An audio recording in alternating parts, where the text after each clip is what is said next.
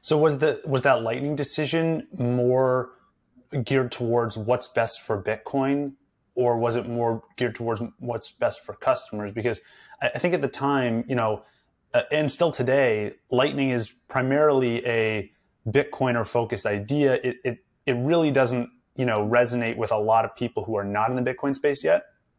So I wonder, right. like, what what does that draw for? What did you guys see on the customer side uh, that that Lightning could enable today and and into the future? Um, yeah, so I think it's a bit of both. So one thing like that we did notice is there were a lot of um, small on-chain withdrawals coming from our app, which is not ideal. You know, you'd have people because you're creating all these small UTXOs, um, which is not good for the chain, exploding the chain and everything.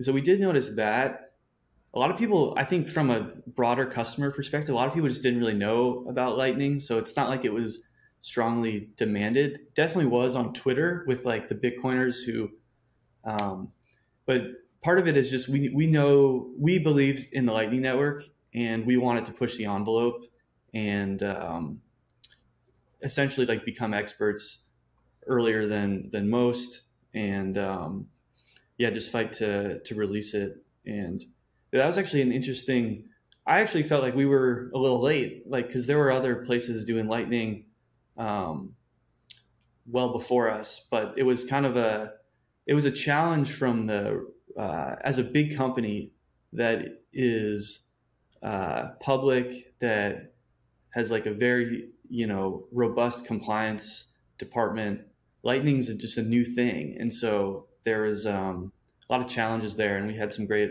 great people working on how do we like do this and do it confidently from a like compliance perspective, which is not something I have to think about as an engineer, but you know, there's a whole compliance department that is trying to make it work with the regulators and all that stuff.